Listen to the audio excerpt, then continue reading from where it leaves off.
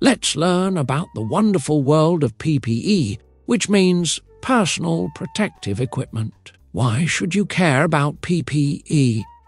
Well, you might get fired if you don't wear it, but that's not the point. There is also safety compliance. You might not die, earn respect, look like a badass. And it's required.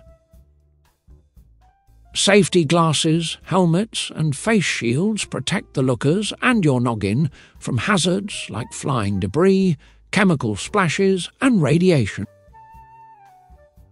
It's better to be safe than sorry. Nobody wants to go home with a pesky double eye infection.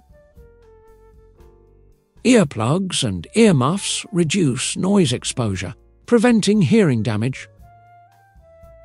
And when Craig comes over to tell you the company man brought donuts. Safety harnesses and lanyards are used when working at heights to prevent falls. It also can help when you end up falling for the girl you saw at the grocery store yesterday. Respirators protect against inhaling hazardous airborne particles, gases, and vapours. It might also come in handy if a friendly skunk pops in for a backyard visit. Steel toed shoes and boots protect feet from impact, punctures, and electrical hazards.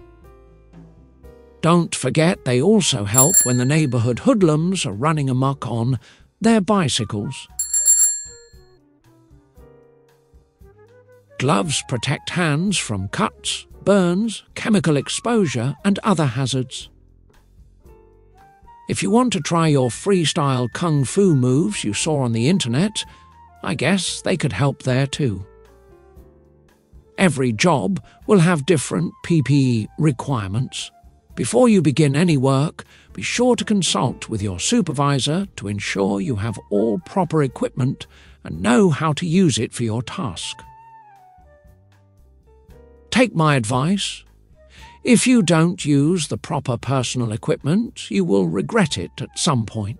Everyone gets hurt sometimes, and your PPE might help you avoid trouble and possibly save your life.